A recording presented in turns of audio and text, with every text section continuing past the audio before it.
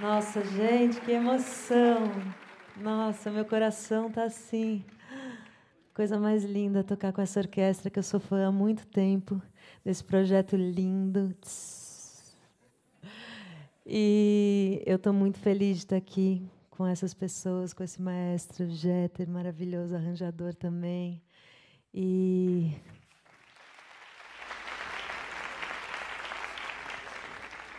É isso, segura meu coração, é isso que eu estou nervosa.